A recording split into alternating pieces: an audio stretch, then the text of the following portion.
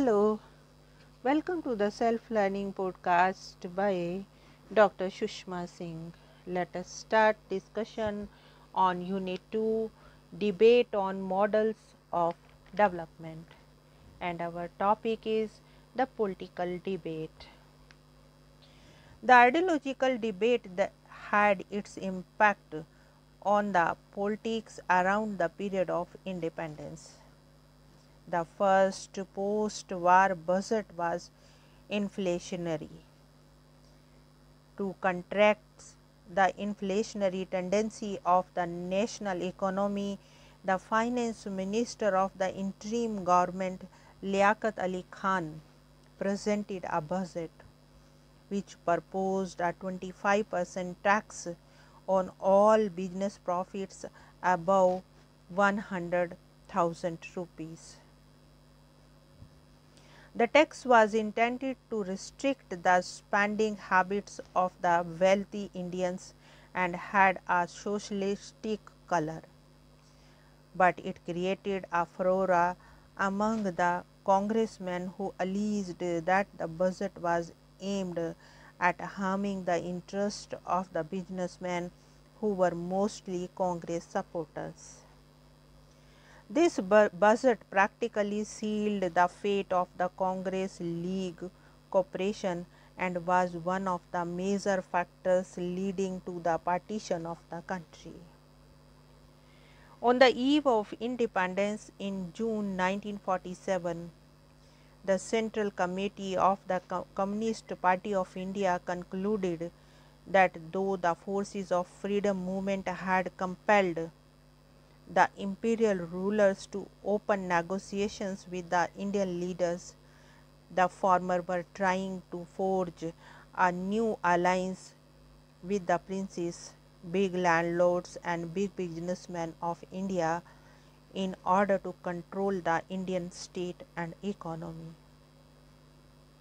Yet, the party held that the agreement embodied in the Mountbatten proposal of 3rd June 1947 for partition of British India offered new opportunities for national advance and the two popular governments and constituent assemblies were strategic weapons in the hands of the national leadership.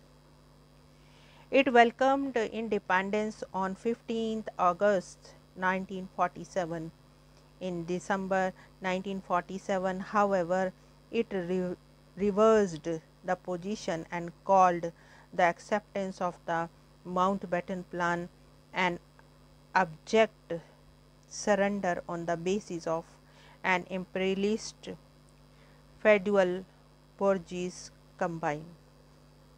The resolution led to the communist militancy in 1948 to 49. In 1947, the forward bloc left the Congress. On 28 February 1947, the Congress Socialist Party decided to drop the word Congress from its name. Ram Lohia, a socialist leader, accused the Congress of compromising with the vested interests in March, the party opened membership to non congressmen. In March 1948, Sardar Vallabhbhai Patel, after having been accused of neglecting the security of Mahatma Gandhi, who had been assassinated in January 1948, decided to quit the Congress. Jayaprakash Narayan declared that the draft constitution framed by the Constituent Assembly of India was clumsy and not inspiring. The party's legislative assembly members in UP who had been elected on Congress ticket resigned and sought re-elections but were defeated. The period around independence therefore saw sharp ideological debate on the future course of India's development. No wonder the ideological debate was partly reflected in the proceedings of the Constituent Assembly of India that framed the Constitution. Now, let us move to the next point the objectives, resolutions of the Constituent Assembly of India. All these issues were sought to be sorted out in the objectives resolution that was passed in the Constituent Assembly of India in a fairly early stage of its proceedings.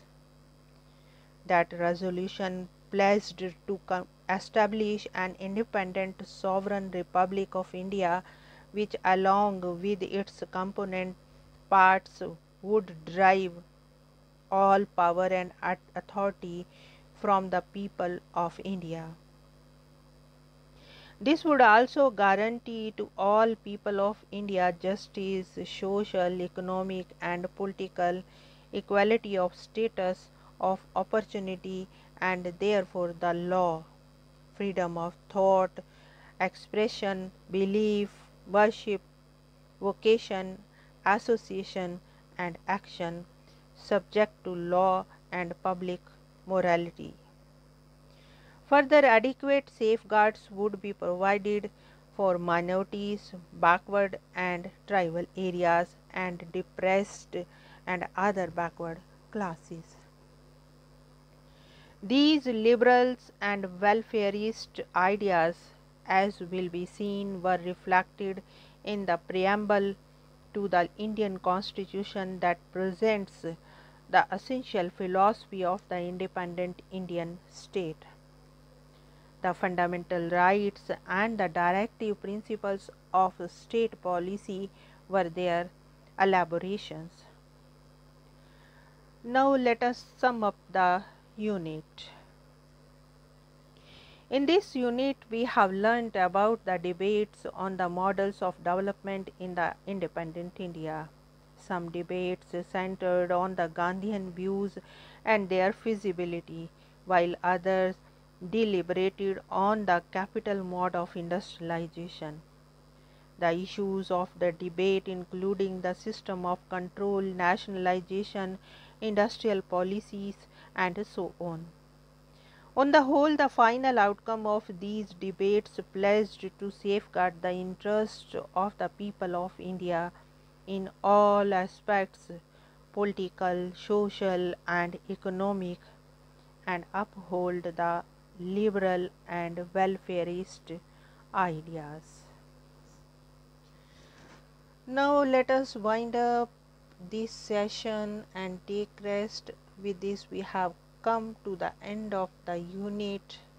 Thank you very much for engaging yourself with the self learning podcasts.